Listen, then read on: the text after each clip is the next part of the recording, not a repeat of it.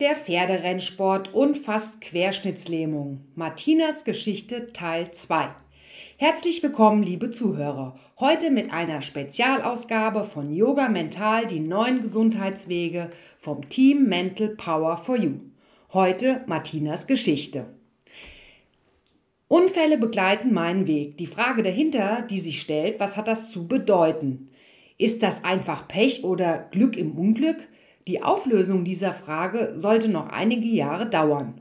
Und bei allem, was ich Ihnen jetzt schildere, möchte ich aus heutiger Sicht die Dankbarkeit an alle Wegbegleiter und meiner Familie vorab in absoluten Vordergrund stellen.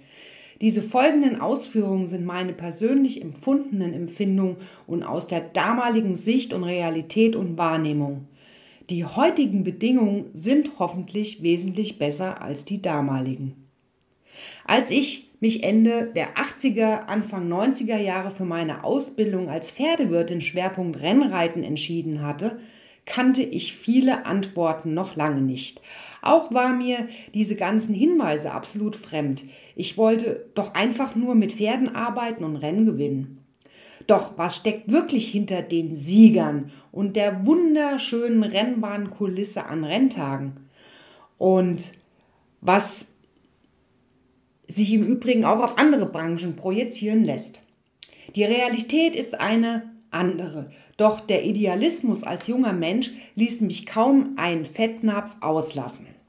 Die Ausbildung als Rennreiterin hatte im Alltag, also in der täglichen Arbeit im Stall, ganz andere Seiten, als man sich so vorstellt. Mal abgesehen von den teilweise unmenschlichen Arbeitszeiten war das tägliche Pensum also absolut nichts für Weicheier. Morgens mit den polnisch sprechenden Arbeitern herumschlagen und nachmittags im blitzeblanken Renndress mit den Besitzern, die meist echte Wirtschaftsgrößen waren oder auch noch sind, auf der Sonnenseite stehen. Krasser ging der Unterschied kaum, jedenfalls für mich. 16, 17, 18 Jahre war ich damals und aus dem Odenwald. Hier mal ein eine Alltagsauszugweise, teils etwas ironisch formuliert. Ja, mir war das grundsätzlich schon bewusst, da ich mit fünf Jahren angefangen hatte zu reiten und Pferde zu versorgen, in Ställen gearbeitet hatte und vieles, vieles mehr. Aber das, naja, früh aufstehen war ja klar. Im Sommer 4 Uhr oder 5 Uhr im Winter anfangen, die Ställe zu säubern und je nachdem, wie viel Personal sich der Rennstall leisten konnte, pro Person sechs bis zehn Pferdeboxen mal als Warm-up quasi. Bis circa 13 Uhr wurden dann die Pferde bewegt und dann nochmal abends von 16 bis 19 Uhr, 16.30 je nach Jahreszeit. Also im Durchschnitt mal gute 10 Stunden und mehr. Ja, warum Personal leisten konnte, verstand ich auch später erst. Diese harte tägliche Arbeit gepaart mit schlechter Bezahlung sowie keine Aufstiegsmöglichkeiten wollte ein normal denkender Mensch definitiv nicht machen.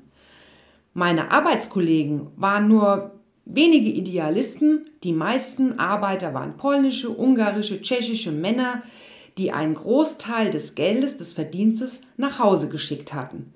Sie lebten in heruntergekommenen Buden, meist einst Zimmerlöcher. Nicht selten verschwanden diese Männer einfach über Nacht und als Nebenaufgabe durften wir diese, also ich, ich nenne es mal bewusst Löcher, auch noch ausräumen und reinigen. Das war wirklich sehr ekelhaft und schrecklich. Eine absolute Müllhalde im wahrsten Sinne. Und es versteht sich natürlich außerhalb der normalen Arbeitszeiten. Im Durchschnitt hatte ein kleiner Stall 30 bis 40 Rennpferde und ja, so circa vier bis fünf Arbeiter inklusive natürlich ausbildende Lehrlinge. Die Rennpferde waren oder die werden jeden Tag bewegt und trainiert. Eine gute Stunde plus nochmal an der Führmaschine am Abend. Dreimal füttern, putzen und zweimal am, am Tag werden die Ställe gemistet. Den Pferden ging es im Vergleich zu anderen Pferdesportarten wirklich sehr, sehr gut, tipptopp. Aber für die Arbeiter war das echte Knochenarbeit. Sechs bis acht Pferde und das jeden Tag von Montag bis Samstag. Und on top ging es ja am Wochenende auf die Pferderennen.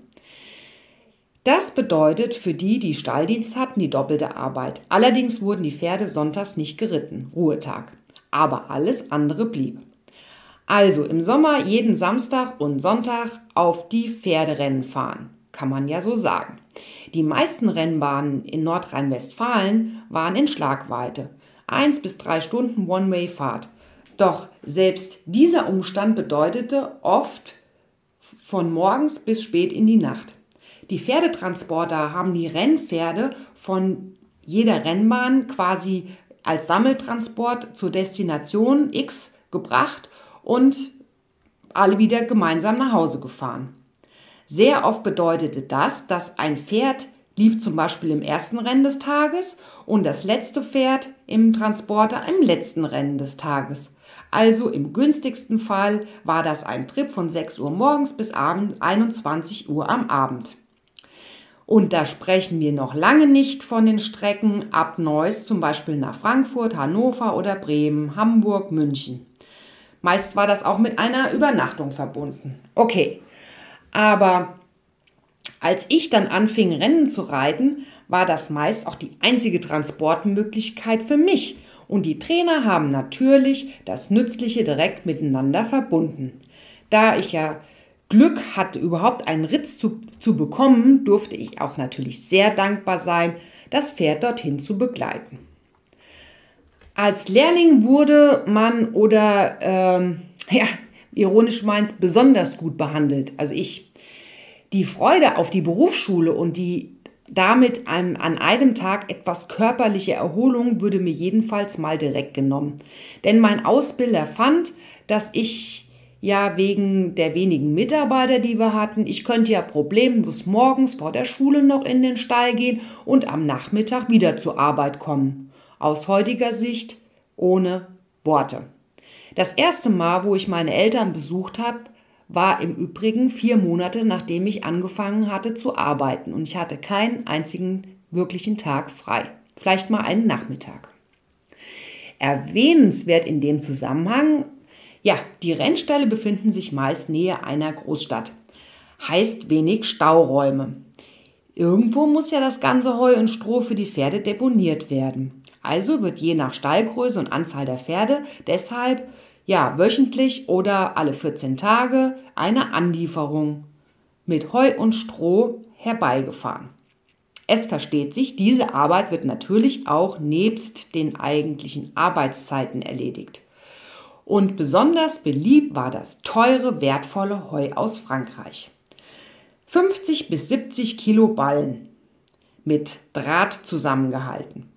Ah, das hört sich vielleicht im ersten gar nicht so schlimm an, aber für mich mit 16, 17 und am Anfang meiner Karriere mit 50 Kilo Kampfgewicht der, die absolute Superhölle.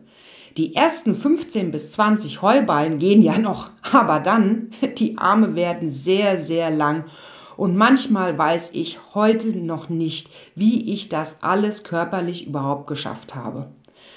Da lernt man schnell zusammenzuarbeiten, denn wir haben die Ballen zu zweit tragen müssen und teils mit so einem, ja, mit so einem richtigen Haken. Lederhandschuhe haben die Hände nur bedingt geschützt. Die sind spätestens nach 30 Minuten schon echt angeschwollen und mit fetten Blasen versehen gewesen oder gar ganz aufgeplatzt. Und nochmal, die normale Arbeit musste ich ja auch noch machen oder jeder musste die ja machen.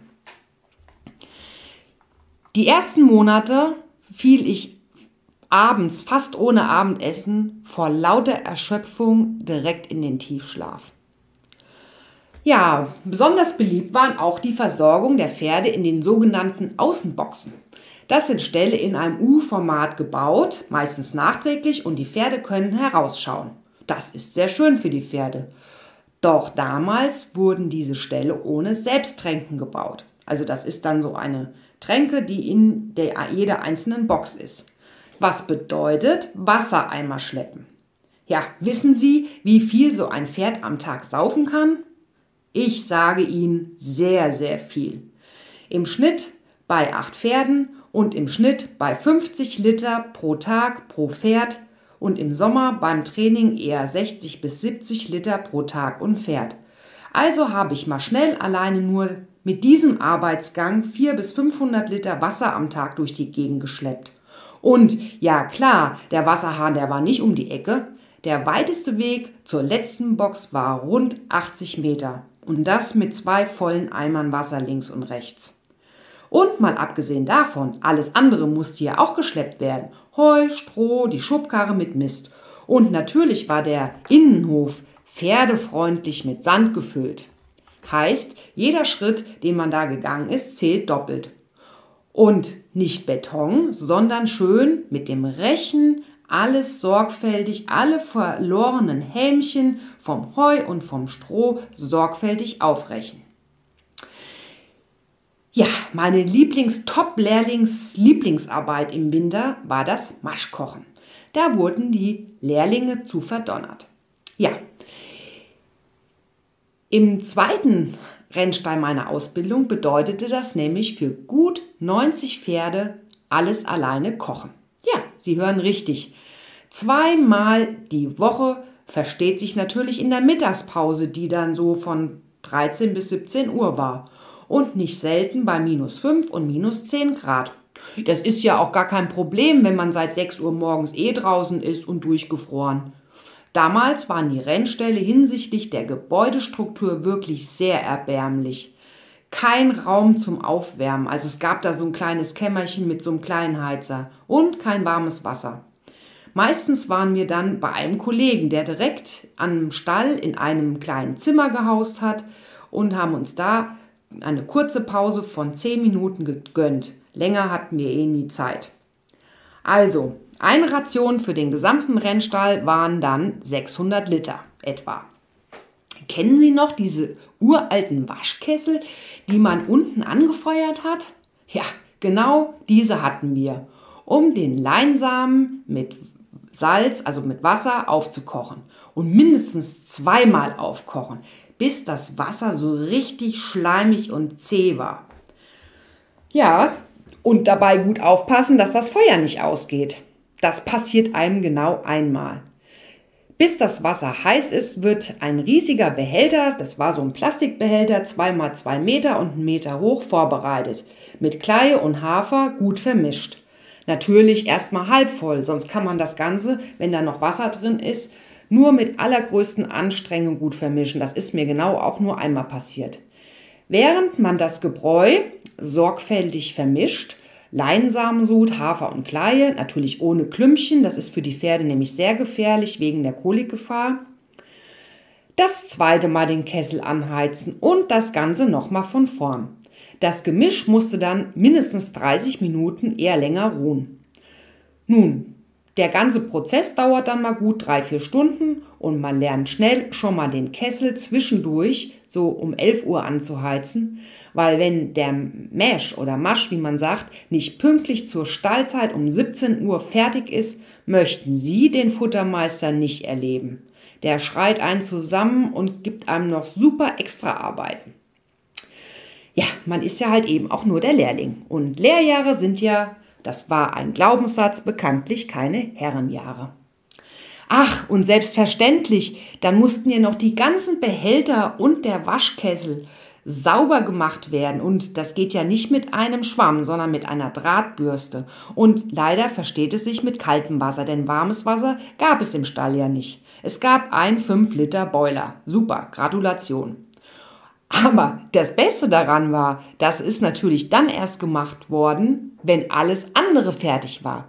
Sprich, so gegen 19 Uhr dann nochmal eine ganze Stunde, weil meine sechs bis acht Pferde, das war unterschiedlich, wie viel krank und Mitarbeiter da waren, die durfte ich natürlich trotzdem noch misten, putzen und tränken. Ja, das ist mal ein kleiner Auszug aus dem damaligen Alltag eines Auszubildenden im Pferderennsport. Und wie gesagt, nichts für Weicheier. Das Ganze drei Jahre lang. Hm. Das zeigte sich auch deutlich in der Berufsschule. Im ersten Lehrjahr waren wir gut 35 bis 40 Schüler nur in Düsseldorf, also Düsseldorf und Neuss zusammen. Das letzte Berufsschuljahr fand dann in Köln statt. Ha, dort wurde schon zusammengelegt. Und hatte eine Schüleranzahl am Schluss von fünf Auszubildenden für Düsseldorf, Neuss und Köln. Das nenne ich doch mal eine saubere Bilanz. Das hält auch wirklich kaum einer durch. Nur die Harten kommen in den Garten an der Stelle. Doch kommen wir mal zum Rennreiten, zum eigentlichen Thema und ja, also mit Thema und damit zusammenhängenden Unfälle. Nun, wir wissen alle, Reiten als solches ist schon mit viel Risiko verbunden. Ich hatte bei der, äh, bei der Berufsversicherung die höchste Unfallstufe. Ja, ähm, und es hat auch nicht wirklich was mit Reiten können zu tun im weitesten Sinne, sondern vielmehr mit dem Faktor Tier, in dem Fall Pferd, ein Fluchttier und schwer zu berechnen. Ein Vollblüter ist nun mal eben sehr temperamentvoll, kombiniert mit dem Training auf Schnelligkeit, da liegen schon mal beim Pferd schnell die Nerven blank. Hm, man kann sich das auch so vorstellen. Die Rennpferde werden ja darauf trainiert, Vollgas zu geben. Und äh, dann ist es auch schon mal wie beim Menschen. Es gibt unterschiedliche Charaktere, je nach Aufzucht, Training und Umgang mit dem Pferd. Ja, von sehr phlegmatisch zu hypersensibel und nervös. Da fragen die dich nur noch, wann geht's hier los? Voll Gas wollen wir geben. Dazu kommt natürlich auch noch das Alter. Es sind sehr junge Pferde. Man kann auch sagen Teenager. Kaum ein Rennpferd wird im Rennsport älter als acht bis neun Jahre. Es gibt da Ausnahmen, aber das durchschnittliche Alter liegt wahrscheinlich eher bei zwei bis vier Jahren. Dann gehen die Pferde nach erfolgreicher oder erfolgter Karriere aufs Gestüt oder sie werden eben ausgemustert. Das ist ein anderes Thema. Also der Leistungsdruck auf die Pferde, Trainer und Reiter ist sehr hoch. Und bedenkt man, dass so ein Training damals monatlich so zwischen, je nach Trainer, 15 bis 2000 D-Mark pro Monat gekostet hat, zuzüglich Tierarztkosten, Hufschmied, die ganzen Transportkosten zum Rennen, Nenngelder und auch die eigene Anreise der Besitzer. Naja, das bedeutet mal schnell größer 24.000 ähm, ohne besondere Vorkommnisse, Verletzungen und so weiter, Krankheiten. Da hat ein Pferd ja noch nichts verdient. Ähm, das dauert mindestens auch ein gutes Jahr Vorbereitung, Investmenttraining. Aber abgesehen von den hochdotierten Rennen, die letztlich einen kleinen Anteil ausmachen, also die Pferde, die daran teilnehmen dürfen, weil sie gut genug sind, startete damals ein Rennpferd mit einem durchschnittlichen Siegpreis, also das Rennen war höher dotiert, aber der Sieger bekam so zwischen 3.000 und 5.000 D-Mark. Das heißt, mit anderen Worten musste rechnerisch ein Pferd ja mindestens fünf Rennen oder mehr gewinnen, nur um seine eigenen Kosten zu decken. Ha, da waren die Besitzer, die das geschafft haben, schon mehr als glücklich. Gut, die meisten Besitzer sind ja, wie gesagt, nicht ähm, aus wirtschaftlichen Gründen, sondern aus dem Faktor Rennsportspaß dabei. Aber gut, ähm, letztlich ist es halt nun mal so, ähm, dass man mal von wenigen Ausnahmen der großen Rennen, das ist schon eine Wahnsinnsleistung für so ein Durchschnittsrennpferd. Und zu meiner Zeit, also bei uns im Stall, sind die Pferde, und das war schon sehr, sehr viel, vielleicht 10 bis 15 Rennen pro Jahr in der Saison gelaufen. Und das waren schon Überflieger, wenn sie zwei bis drei Rennen pro Saison also gewonnen haben und vielleicht noch ein paar Platzierungen.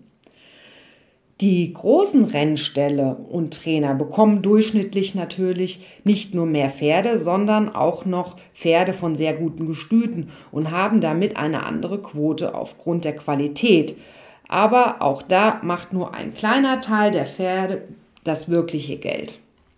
Also der Druck ist da sehr groß und ich kann aus meiner Wahrnehmung an Erlebnissen sagen, ein kleinerer bis mittlerer Trainingsstall und ein durchschnittlicher Jockey hatten außer einen Haufen Arbeit kaum eine wirkliche Option, Geld zu verdienen oder viel Geld zu verdienen, mal überhaupt gar nicht davon gesprochen.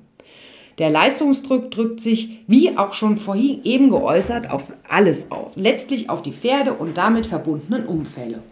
So erging es zwangsläufig auch mir.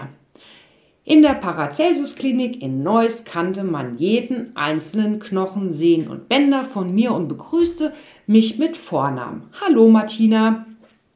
Ich kannte das Personal mit Vornamen und sämtliche Ärzte und Chefärzte.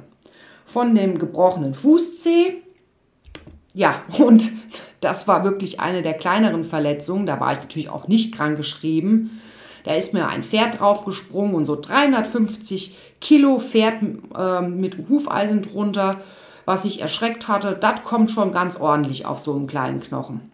Naja, Rippenbrüche, platter Lungenflügel bis hin Gehirnerschütterung, Schambeinbruch, alles war da dabei. Unfälle im Training und vor dem Rennen und im Rennen. Eine lustige Geschichte in Dortmund war ein Pferd so unruhig, dass es mit mir mit einem Sprung, also aus dem Führing, hat es irgendwie nervlich war es sehr labil und hat sich auf den SLK der, vom Tierarzt, der hatte seinen Mercedes wirklich auch nicht sehr günstig geparkt, ist der draufgesprungen. Der Wagen war im Eimer, das Pferd und ich zum Glück nicht und gewonnen haben wir an dem Tag trotzdem. Ja, aber das ist natürlich alles solche Sachen, die man nicht unbedingt erleben muss. Und mein schlimmster Unfall war allerdings im Training passiert. Ein eher, nennen wir es mal vorsichtig, unbegabtes Rennpferd, der hatte auch wirklich null Lust auf diesen ganzen Zirkus, sollte eines Morgens mit seinem Kollegen, also einem anderen Pferd, eine Arbeit auf einer Grasbahn gehen. Der Trainer wusste die Schwierigkeiten des Pferdes wohl sehr genau und orderte, also ordnete unser als Reiter an, eng zusammenzubleiben und das unmotivierte Pferd immer eine kleine Nasenspitze vorauszulassen, um es dazu zu bringen, mehr Spaß beim schnellen Galoppieren auf dem Rasen zu entwickeln. Also quasi gegen das andere Pferd zu gewinnen, um seine Motivation zu steigern. Macht ja auch Sinn. Und äh, für alle nur kurz, die sich nicht so gut auskennen, das tägliche Konditionstraining findet auf einer Sandbahn statt. Die ist ungefähr zweieinhalb Meter breit, also ist so ein Schlauch, links und rechts Bäume. Und ähm, je nach Vorlieben des Pferdes, ob es ein Kurz- oder Langstreckenpferd ist, ähm, werden so um die 1500 Meter Galopp, äh, Galopp pro Tag unterschiedlicher Geschwindigkeit absolviert. So, also einmal eine Runde ist ungefähr 1500 Meter. Mal manchmal ruhiger äh, und länger oder manchmal kürzer und schneller, um die Lungen auch zu trainieren. Das bestimmt dann der Trainer. Und den Sandboden wegen der Gelenke und dem Krafttraining hauptsächlich. Also die Pferde werden natürlich immer gut im Vorfeld, also aufgewärmt und dann geht es ab zum Galopptraining. Gut, kommen wir zurück. Also ab auf die Grasbahn. Dabei wird den Pferden dann beigebracht, schnell abzuspringen. Also sie müssen aus dem Stand schnell abspringen und am besten auch noch gerade. Also von 0 auf 100. Gesagt, getan. Und da es ja ein junges Pferd war an dem Tag, gestaltete sich schon dies als etwas schwierig, weil das grüne Gras natürlich extrem verlockend ist, um da vielleicht lieber mal etwas zu stehen und zu Gras zu fressen Okay, aber mit einem kleinen Klaps mit dem Stock auf die Schulter ähm, konnte die Konzentration immer wieder ganz gut hergestellt werden, also die vom Pferd. Und die jüngeren Pferde freuen sich natürlich auch über den Grasboden, weil im Vergleich zum Sand ist der so schön leicht und die Bahn ist auch noch so viel breiter. Also sie haben auf einmal eine riesengrüne Fläche vor der Nase und vergleichbar mit der Einbahnstraße auf der Sandbahn von zweieinhalb Meter und die auf Gras von bestimmt 15 Meter breiter, das ist natürlich super toll und quasi die Teenager bekommen ein ganz anderes Lebensgefühl. Also ich meine, die Pferde. Wäre da nicht dieser blöde Reiter obendrauf, der natürlich ganz andere Ideen hat und die Anweisungen des Trainers befolgen soll. Und genau das dachte sich wohl auch mein Teenager-Rennpferd. Nach einer halben Runde etwas widerwilligen Galopps hatten wir den Auftrag des Trainers, da war es immer so Übergänge, mal gut 250 Meter mal ein bisschen mehr Gas zu geben. Nur, das sah mein Teenager-Rennpferd mal ganz anders. Er checkte direkt den sonst täglich benutzten Ausgang zum Stall, also da gibt es immer so Übergänge, und ehe ich den Gashebel bedienen konnte, haute er eine Vollbremsung rein, schlug einen Haken und da war es um mich geschehen. Sie wissen ja, als Rennreiter hat man relativ kurze Bügel, um den Bewegungsablauf des Pferdes im schnellen Galopp so wenig wie möglich zu behindern. Das heißt, mit Beine zumachen bei einem Vollstopp und einer Kehrtwende ist da nicht so viel möglich. Und selbst als geübte Reiterin hielt ich zwar die Zügel fest, was man generell gar nicht machen sollte, fiel aber in so einem blöden Winkel, dass es mir unmöglich war, auf den Füßen zu landen und wurde von diesem extremen Schwung Vollgas in eine Hecke katapultiert. Und das auch noch so doof, dass ich erstmal eine gefühlte Ewigkeit überhaupt gar keine Luft mehr bekam. Scheiße, dachte ich. Nur das war's dann wohl.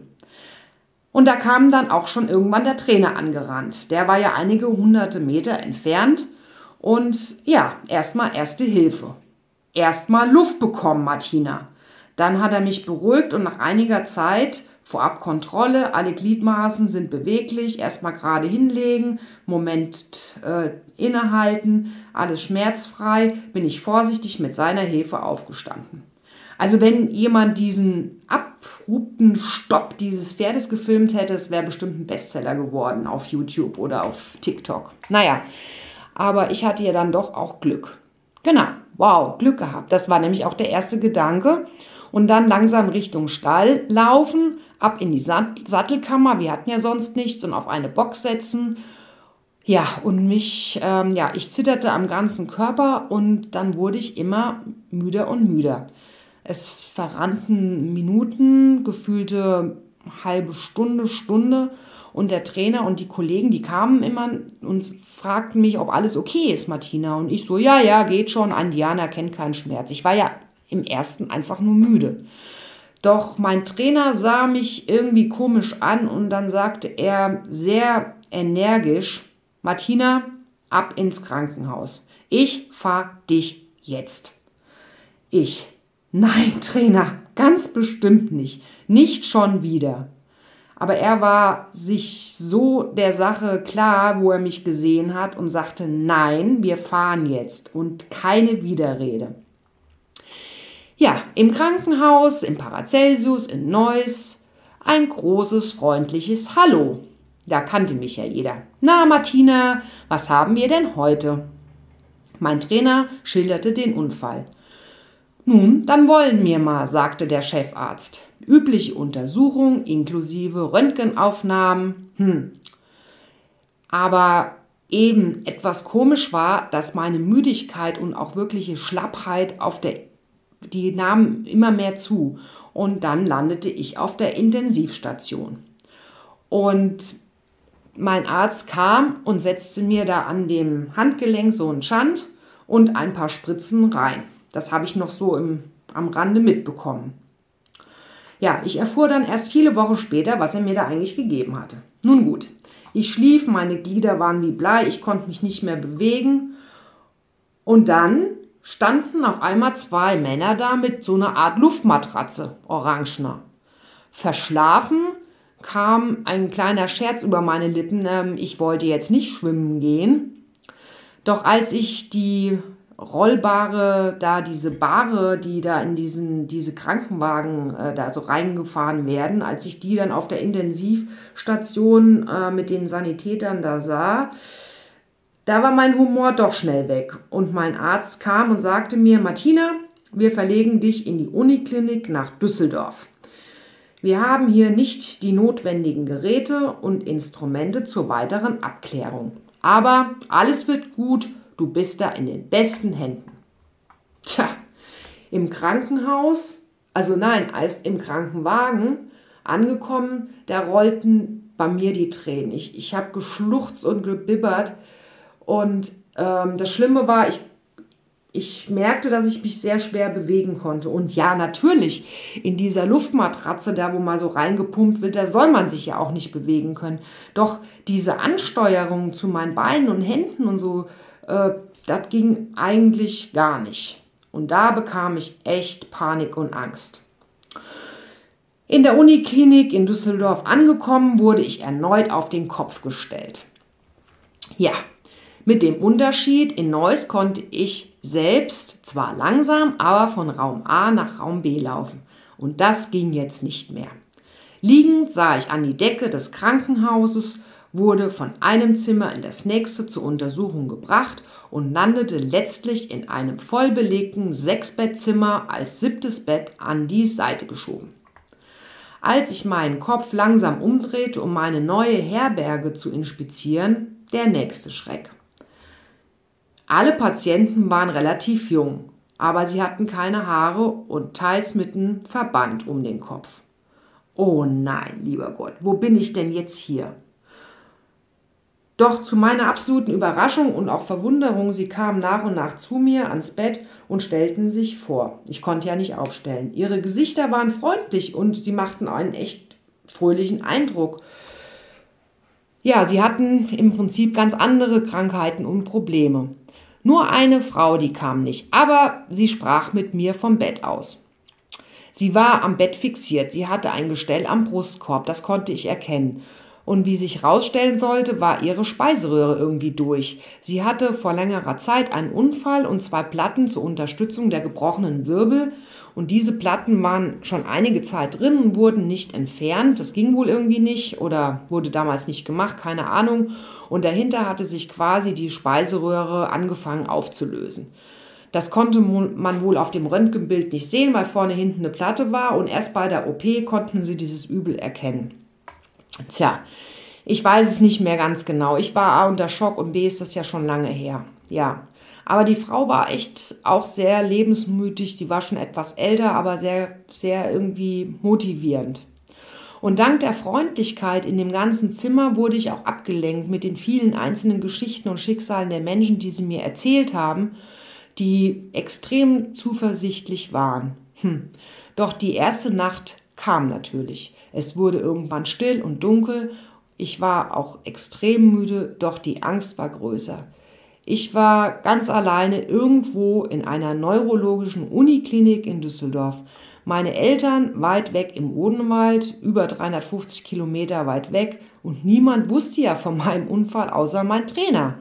Aber ob er schon wusste, dass ich nach Düsseldorf verlegt wurde und äh, wie es um mich stand, tja, das war ja auch alles unklar. Und ob meine Eltern schon wussten, was passiert war, ja, alles unklar. Es gab ja damals keine Handys und ich hatte auch nichts bei mir, null. Noch nicht mal ein Ausweis, kein Geld, gar nichts. Meine verdreckten Reitklamotten vom Unfall, die waren ja in der Klinik in Neuss geblieben und sie hat mir auf der Intensivstation so einen schönen Kittel angezogen. Sie kennen den, der hinten offen ist. Ja, aber das Schlimmste war, ich konnte mich ab meinem Hals nicht bewegen. Meine Gliedmaßen wollten einfach nicht mehr auf meine Befehle hören. Und dann kamen mir die Tränen und glücklicherweise die Müdigkeit überrannte mich. Tja, und am nächsten Morgen ging die Untersuchung weiter. MRT, ab in die Röhre. Fünf Ärzte standen dann irgendwann mal um mich herum, bewaffnet mit Nadeln. Und äh, Sie kennen das, so ein Rädchen, wo man so äh, in der Hand, wo man so normalerweise diese Plätzchen so aussticht, den Teig aussticht. Ähm, ja, und die schlitzten dann an unterschiedlichen Stellen, an Armen, Beinen, Bauch, Fußsohle, auf meine Haut herum. Und dann fragten sie mich, ob ich etwas spüren könne und ja, wie intensiv es auch wäre auf einer Skala von 1 bis 10. Ja, und die gute Nachricht, ich konnte leicht spüren. Und das war das, was die Ärzte wirklich zuversichtlich stimmten und mir Mut machten, weil ja die Haut noch Reaktionen hatte. So, und dann kam die beste Nachricht überhaupt, der Befund aus der Röhre. Es ist nichts gebrochen. Es ist nicht sichtbar gebrochen und damit war das die beste Nachricht, also kein Bruch in den Wirbeln. Und dadurch stieg auch die Hoffnung in mir auf. Und nach gefühlten drei Tagen konnte ich dann auch endlich das erste Mal meine Eltern sprechen. Mein Trainer besuchte mich. Juhu, der erste Besuch überhaupt. Also gefühlt war das alles so. Vielleicht war er auch schon am zweiten Tag da, aber ich, ich kann es nicht mehr sagen. Also er rollte mich mit dem Bett zu einem Telefon und da die Stimme meiner Eltern. Ich brach vor lauter Freude in dem Fall mal in Tränen aus, ihre Stimmen zu hören. Und ähm, Dann meine Mutter. Ihre Stimme war anders als sonst. Und klar machte sie sich große Sorgen, aber es war ja auch logisch. Doch irgendwas anderes war in ihrer Stimme. Und nachdem sie sich erkundigt hatten, wie es mir so geht und was so die Ärzte äh, sagten und was sie selbst erfahren haben, sagte sie, du Marti, sie klang wirklich auch verzweifelt. Die Stimme habe ich heute noch in den Ohren. Du, die Oma in Prag liegt im Sterben und ich weiß jetzt nicht, wo ich zuerst hinfahren soll. Zu dir nach Düsseldorf oder nach Prag zu meiner Mutter. Papa kann hier leider nicht weg und wir haben eh nur ein Auto und ich, ja.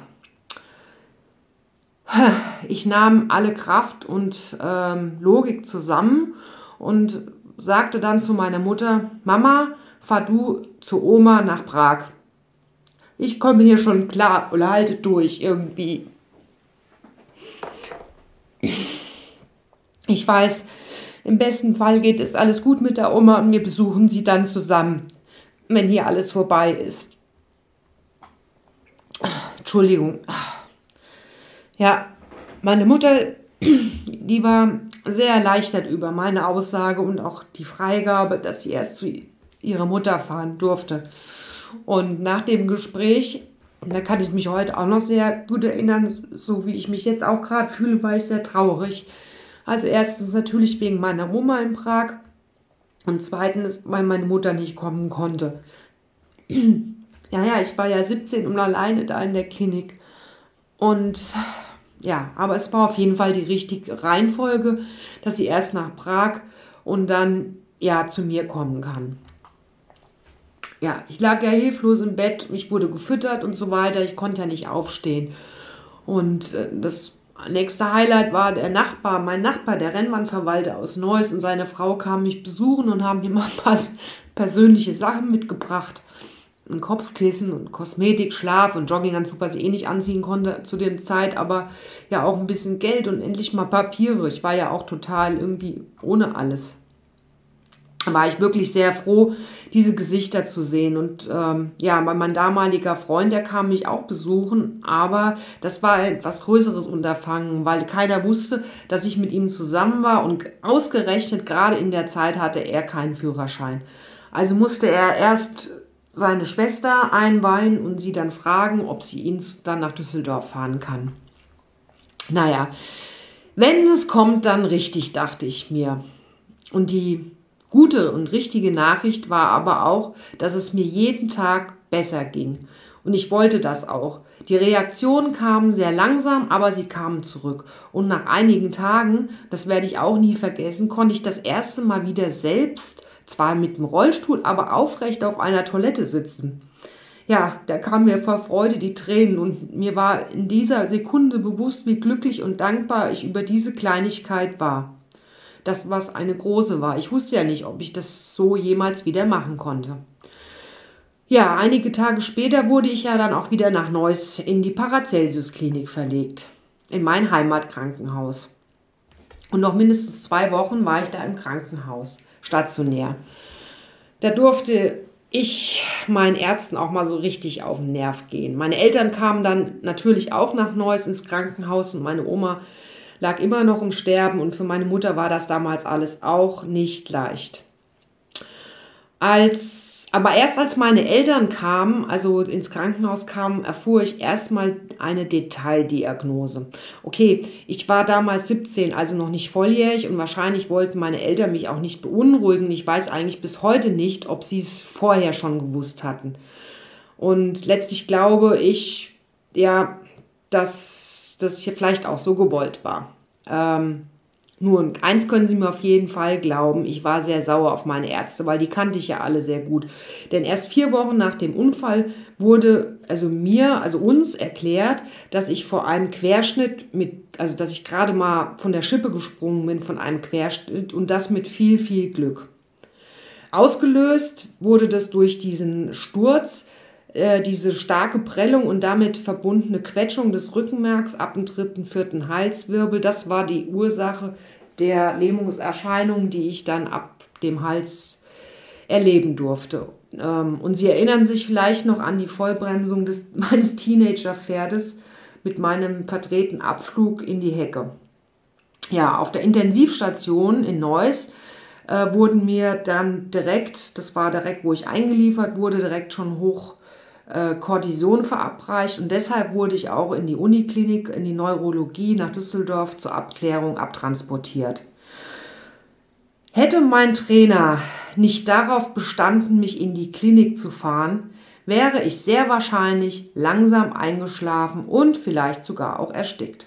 Denn alle Nervenbahnen nach unten laufen ja durch die Halswirbelsäule, also durchs Rückenmark. Und das war ja auch der Grund, warum ich mich die ersten Tage durch diese Schwellung und Abklemmung konnte ich mich ja deswegen kaum oder schlecht bewegen, also eigentlich gar nicht.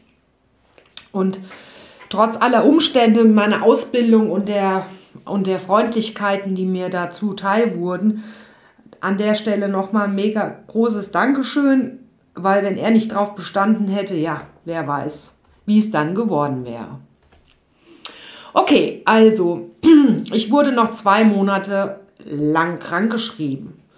Absolutes Sport und vor allen Dingen Reitverbot.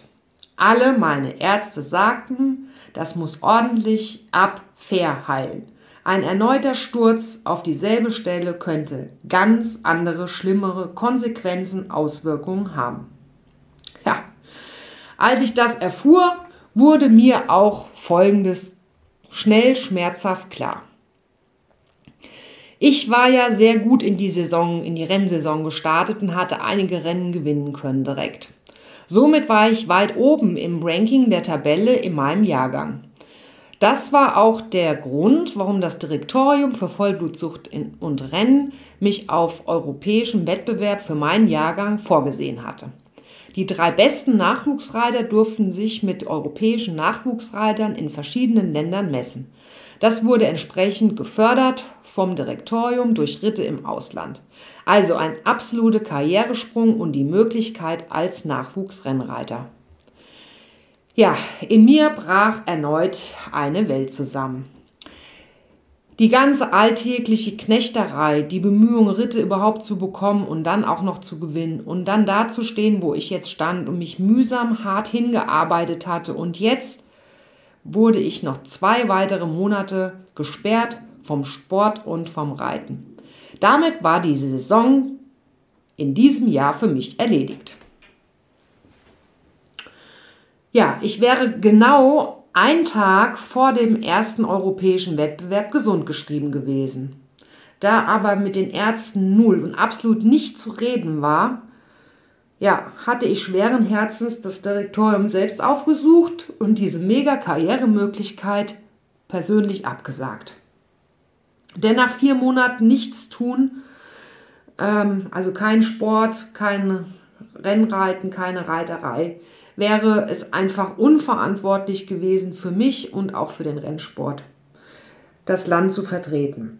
Ich war natürlich am Boden zerstört. Weinend saß ich jeden Tag auf der leeren Tribüne in Neuss und betrachtete das morgendliche Training. Ganz ehrlich, liebe Zuhörer, aus heutiger Sicht eine sehr undankbare Haltung. Ich hätte doch feiern müssen, glücklich sein, dass ich dem Rollstuhl entsprungen bin. Ich, ich saß auch teilweise da und trat mir selber in den Arsch. Martina, geht's noch? Komm mal bitte klar. Aber dazu, ja, und das können Sie natürlich nicht wissen, möchte ich Ihnen noch Folgendes erklären. Ich war ja verhältnismäßig groß geworden seit Start dieser Ausbildung als Rennreiter. Und die Ritte, die Nachwuchsreiter angeboten werden, sind auf einer sehr geringen Gewichtsklasse. Also ideal ist ein Gewicht zum Reit von 48 Kilo. Das heißt, man muss da irgendwo so 46 Kilo wiegen. Da bekommt man halt die besten Möglichkeiten, auch einen Ritt zu ergattern. Also erst Quantität und dann kommt die Qualität ähm, der Ritte und Möglichkeiten. Ich konnte ähm, damals mit einer Woche Hungern gerade mal 50 Kilo reiten. Also mein absolutes Horrorkampfgewicht nackt war irgendwo 48 Kilo und das war auch eine echte körperliche Tortur. Ein Missbrauch des Körpers par excellence. Bei voller Arbeit nichts essen und so gut wie nichts trinken. Plus Sauna, ähm, im Jogginganzug joggen gehen zum Schwitzen und die heiße Badewanne mit Salz, um noch das letzte Gramm rauszuschwitzen. Tja, heißt, je leichter man halt eben als Jockey oder Rennreiter ist, umso mehr Möglichkeiten an Ritten. Viele Möglichkeiten bedeuten viele Erfolge und wenn man sich dann erstmal einen gewissen Status an Können und Siegen erarbeitet hat, spielt Gewicht immer noch eine Rolle, aber nicht mehr so wie beim Aufbau einer Karriere. Also je besser natürlich auch die Rennen äh, dotiert sind, also desto ähm, also werden mir auch also die Ritte angeboten werden, desto besser sind ja die Pferde und die tragen dann automatisch aufgrund ihrer höheren Leistung, die sie vollbracht haben, auch höhere Gewichte. Das ist dann ein ausgeklügeltes Handicap-System, was jetzt hier die Erklärung den Rahmen sprengen würde. So, aber zurück zu mir, denn nach fünf Monaten nichts tun, wog ich, tja, großartige 63 Kilo bei 1,72 Körpergröße. Nun, Idealgewicht denken Sie vielleicht, aber nicht für einen Nachwuchsrennreiter oder Rennreiter. Und mein Problem war die harte tägliche Arbeit und die damit verbundene Muskelmasse. Ich war ja nicht dick, ich war ja einfach nur muskulös und Muskeln sind bekanntlich schwerer und die kann man auch nicht wegschwitzen. Und on top wurde ich ja auch eine junge Frau, also tschüss Teenagerphase. Auf den Punkt gebracht, ich war also grundsätzlich 15 Kilo zu schwer. Also, anders ausgedrückt, mir waren die Wochen des Krankseins wirklich klar geworden und ich, also ich hatte bedingt durch meine körperlichen Umstände eigentlich nur diesen einen Slot mit 16, 17 Jahren hätte ich gehabt, um diese erste Karrierestufe zu nehmen, wegen Größe und Gewicht. Und als mir das klar wurde und ich vor dem endgültigen, ja, mir, mir es endgültig klar wurde, der Traum der Jockey-Karriere war Geschichte. Ich war weiblich, zu groß und damit zu schwer und Punkt und aus und fertig. Ja, wollen wir mal zusammenfassen. Was ist das Gute, die Erkenntnisse aus meiner Geschichte? Ist doch klar. Kein Querschnitt, keine Querschnittslähmung. Gesundheit first. Ausbeutung durch die harte körperliche Arbeit wurde gestoppt. Ausbeutung des eigenen Körpers durch diese massiven Gewichtsthemen, also dieses ständige Runterhungern, ähm, gestoppt. Ich hatte ja teilweise für einen Ritt acht Kilo und mehr weggehungert in einer Woche. Alles gestoppt. Und natürlich ganz besonders wichtig, Ausbeutung der eigenen Person gestoppt. Doch, was waren jetzt die Herausforderungen? Erkenntnis und Wahrnehmung der eigenen körperlichen Möglichkeiten und damit die Begrenzung erkennen und vor allen Dingen akzeptieren mal eine ganz andere mentale Stärke aufbauen. Man braucht ja auch mentale Stärke, um Rennen zu gewinnen, aber das war jetzt eine ganz andere Herausforderung. Die Tatsache, die Karriere als Jockey ist dahin. Doch, was nun? Was soll ich denn jetzt machen? Denn seit Kindesbein war das mein Traum. Es gab ja nur das eine. Und es gab keinen Plan B. Realschulabschluss und eine Lehre wenigstens abgeschlossen als Pferdewirtin Schwerpunkt Rennreiten. Das Arbeitsamt und die Berufsberater schauten mich ebenfalls mit großen und fragenden Augen an. Was macht denn bitteschön so eine Person? Ja, aber ich bin ja nicht die Martina Pracht, sondern ich bin die Martina Pracht.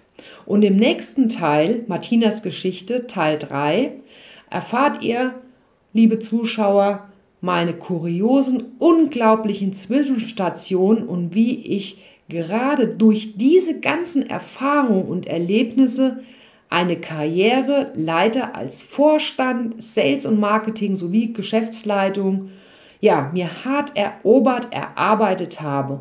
Und das als ehemaliger Jockey. Ja. Und was ich in diesem weiteren Lebensabschnitt für prägende und wertvolle Erfahrungen machen durfte, die für mich heute als Mentalcoach so elementar wichtig sind. Ich könnte mal viele meiner Kunden bei vielen Themen überhaupt nicht verstehen, das nachvollziehen, wenn ich nicht leider auch so viel selbst erfahren durfte oder musste. Mit diesen Erkenntnissen durfte ich aber doch noch weitere große Fehler begehen und die habe ich auch begangen und mich hat das Leben ein weiteres Mal vor dem Tod bewahrt. Einem schweren Autounfall als Beifahrer in 2001. Denn ich sollte meine Lebensaufgabe endlich erkennen dürfen. Noch mehr mentale Stärke gewinnen dürfen und ausbauen. So, liebe Zuhörer, heute mit dem etwas längeren, ja, Yoga Mental äh, Podcast Neue Gesundheitswege mit meiner Geschichte, nur ein Teil einer Geschichte aus dem lieben Rennsport. Und nochmals sei hier erwähnt, ich möchte mit Sicherheit keinem auf die Füße treten oder ja, beschuldigen. Ganz im Gegenteil, ich bin dankbar im Rückblick, dass mir so viele Menschen gerade in dieser Zeit ja beigestanden haben, auch ganz viele fremde Menschen und ich auch viele Menschen kennenlernen durfte und dass ich auch die Erfahrung zwischen wirklich arm und wirklich reich innerhalb weniger Minuten ja erlebt habe und das über Jahre. Das war schon sehr prägend. Ja, noch im Dreck morgens im Stall und dann an der Champagnerbar in Baden-Baden. Noch morgens auf die Klappe gefallen beim Training und nachmittags den Siegpokal in der Hand. Das sind, denke ich, schon für junge Menschen auch besondere Erfahrungen. Ich hoffe, Ihnen hat es Spaß gemacht, diese Geschichte mit anzuhören, diese wahre Geschichte. Und ich wünsche Ihnen viel, viel Kraft und gute Gedanken. Und ich freue mich auf den nächsten Teil von Martinas Geschichte Teil 3.